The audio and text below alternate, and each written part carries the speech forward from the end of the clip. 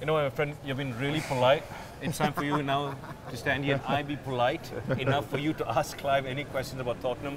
You've shown Okay. him this entire place. Sure. It's- Fantastic, yeah. it- it's brilliant. Would you say Tottenham have been brilliant this season and the past few years? Uh, you're asking me or asking You, Oh, you, you, you, You bro, you. Well, well, well, I've been a fan since the 80s.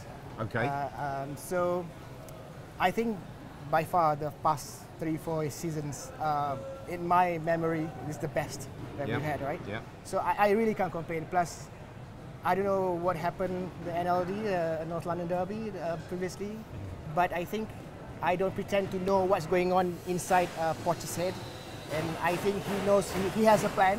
Wh- what do you think is his plan? Wh- Why why does he play, you know, line, the lineup that he played? He plays. He has. I think he's shown that he plays his teams to win certain games. He feels that it doesn't have to be the same team, or the team doesn't have to play the same system and the same uh, tactics in all the games. Now he doesn't always get that right. I think we, we, we see that, and we saw that at the weekend. But it is a. It is still a work in progress. I Yeah, still think right, he, that's he needs additions. We've talked about um, you know, possible um, acquisitions in January, which is going to be important. But I think that, that the whole three or four years that you're talking about, since has been there, it's been year on year, we've got better and we're getting better. Yeah, but there's still a lot to come, and we need to get better as well to be at the very at the very top and start winning. I think that's the most important thing now. And also not to lose any players, any key players. Exactly. That's the challenge, right? And I, th- I do, I do think that that is something that we've got ourselves into a position now where, where players are not going to leave Spurs because they're going to better themselves somewhere else. They know where the club's going and the, mo- the momentum that's being built as well. So players are not going to better themselves going anywhere else. I don't see we're going to lose anyone. I hope not. Anyway. Fingers crossed. Uh, and but this is the question that I think I would always ask any Tottenham fan because it is a reality check. As much as you love your football club, you know sooner or later uh, uh, reality is going to hit you in the face. And the question I've asked Clive before on the show, or the two fans prior to this as well, is how long can you go with this squad without winning something? Well, Uh, do you need Uh, a drink or something? Eat one of those chilies back there. Chilies, yeah. I mean, personally, um, I'm a loyalist. I, I, I, I, I call myself a loyalist. So I'm loyal to the club. I'm loyal to the whoever is on top. I mean, I, I, I like I said, I don't pretend to know how he handles, he manages the, com- the, the club, but at a certain point, I think if down the road, I, I would say two or three years, uh, hopefully this year we'll break the duck. But if in two, three years we don't win anything, there will be some some problems, I, I suppose. I, I think the timing of the new stadium is important. Yeah. Yeah. Yes, it's not ready. He's got this season and he's got next season guaranteed for me to win something. After that, you're going to start. Now Asking it's dragging questions, along yeah. a bit. But I think once that new stadium comes, I do believe they're going to invest heavily for that season uh, in the new stadium. Just really get that hype going, and then that's going to be the time where, all right, pressure's on now. You got to you got to start deliver. delivering. Yeah. I think we had a conversation in our WhatsApp group um, because eh, some say that uh, we could even move in um, before the end of the season. so the question was, is it good to you know straight away um, play in the new stadium, or we should wait? We get a good off season uh, to train there and to acclimatize ourselves in a, in a, in a, in a, in a new stadium. What, what do you think? I- I should we just I go in straight away? I think you're right. I think that um, I- the, the one the one thing that I think the club have got wrong is that obviously the, the proposed plans to get it done within the season were, were unrealistic. It wasn't going to happen. yeah. But this season, I think that they should now say we'll not play until the beginning of next season in the new stadium. Get it finished. Everybody will be looking at this incredible new stadium that's been built and saying, we've got to get in there. Look at it. This is fantastic. It just changed everybody's mindset and everybody's thinking towards the new stadium rather than, oh, here we go, another week. We're not in there this month. Oh, it's not happening. And it, it, it, it's all very negative. Yeah. And I think it would just give a positive angle to it. And then the start of next season, we're, we're up and running and we're, and we're in this fantastic new stadium. That's, that's, the only, that's the only way that I think, and I think the, the supporters would accept it. I think there'd be understanding that, yeah, uh, yeah, it's not done, it's not ready. But when it is, it's going to be, it's going to be up and running and we're going to use it in the right way. And I, and I think that with that, the advent of the new stadium, you're right. I think that it will give the finances generated, the, the, the attraction for players, whoever they are, wherever they are in the world, to come to London to play in this new stadium and play for Spurs. I think will be immense, and I think they'll. And I think you'll see a lot of. But we've got to get that fourth place, right? We've got to get the Champions League, right? I mean, that is critical. Yeah, That's- there, there is. Would it, would it be a disaster for them to go into the new stadium without Champions League football? Yeah, it would because be. the plan was to go in this year with Champions League Yeah, football. That's right. Sure. To go in Yeah. next year with no Champions League, how kind of set? What kind of setback would that be? That, that will be massive. It, it'll be massive in, in the overall thinking uh, and the way the whole club is being geared Yeah. for. It's unthinkable to be honest because the finances um, uh, would be stretched. There's Yeah. no doubt without without the Champions League football. Well, I think maybe there needs to be a little bit of investment in January, just to make sure you get over the line. that's right. Yeah. yeah.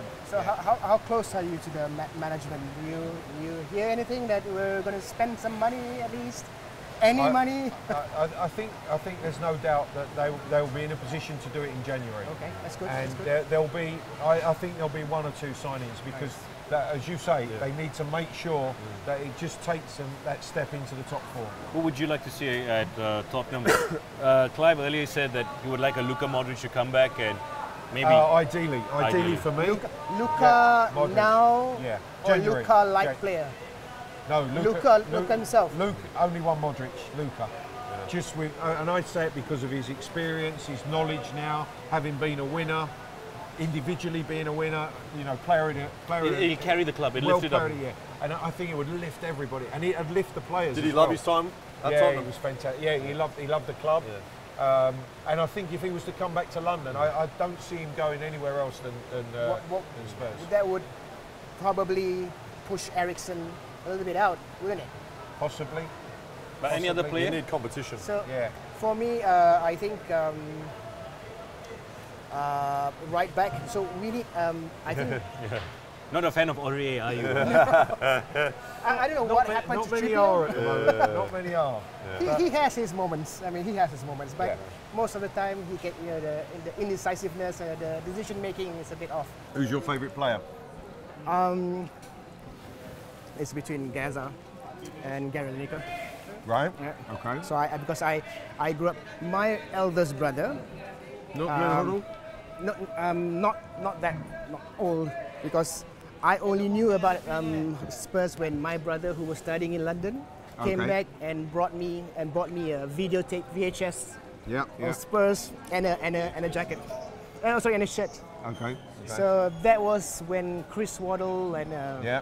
Uh, Gazza. Gary Lineker and Gazza. Yeah. My cousin Paul's playing then as well. Yep, yep. Yeah. Oh, yeah, yeah, yeah, The yeah. cup final yeah. team. Yeah. The cup final team. Yep, yep. 92. Now, Who, who today? Who's your, who you like?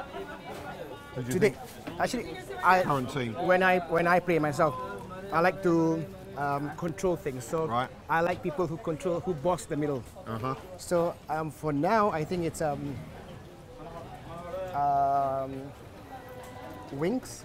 Yeah. Harry's Winks. done very well. Yeah, Harry. I think he has. Uh, maybe he's not the finished article yet.